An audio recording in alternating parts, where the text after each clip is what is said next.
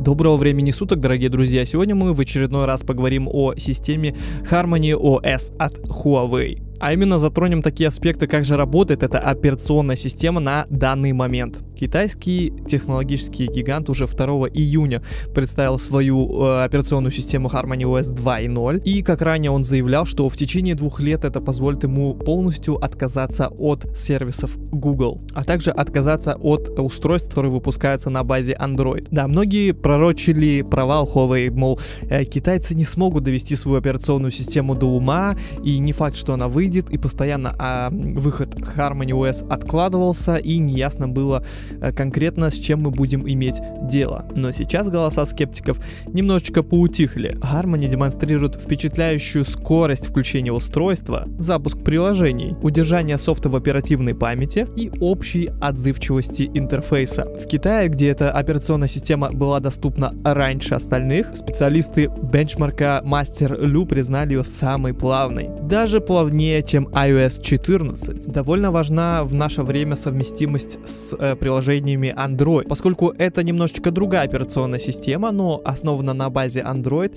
совместимость приложений Android сделать не так уж и трудно. Да, потому что считается, что Harmony OS это всего лишь своеобразный форк, или, если говорить русским языком, то ответвление от гугловской OS. Имеется в виду от Android. Но, в принципе, в Huawei никогда не скрывали, что они разрабатывали свою OS, э, исходя из открытого кода Android, который когда-то был основан от открытого кода Linux. Но зато они значительно перестроили и улучшили базу. Как бы то ни было, устройство с Harmony OS отлично понимает сторонний софт, имея в виду, который предназначен для Android устройств. То есть установить APK-шку вам не составит труда. Есть, правда, ограничения. Google сервисы полноценно работать не будут. Например, некоторые игры до сих пор используют сохранение при помощи э, Google Play. И, как правило, в устройствах Huawei это и без Harmony OS невозможно.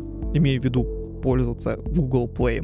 Хотя есть своеобразный костыль. В компании считают основным способом распространения ПО это их собственный магазин приложений App Gallery, который, если честно, в Европе у нас работает не очень хорошо в том плане, что скудный выбор, особенно если вы ищете какое-нибудь региональное приложение. Интерфейс Harmony OS до более знаком поклонникам Huawei. Дизайнерских аналогий с оболочкой MUI действительно много. Но и отличий и нововведений при этом хватает. Например, док-бар, связанный с многозадачностью можно выводить несколько окон, а переключение между приложениями практически моментальное. Наконец-то значительно обновили Huawei Share. Теперь он работает еще гораздо лучше и быстрее. Подключается к устройствам гораздо быстрее и э, если ваше устройство находится поблизости и у него включен, допустим, NFC, он будет подключаться, то есть делать запрос на ваше устройство, если вы уже когда-либо подключались к вашему компьютеру, допустим. Резюмирую. Компания Huawei не зря столько лет шлифовала свою операционную систему,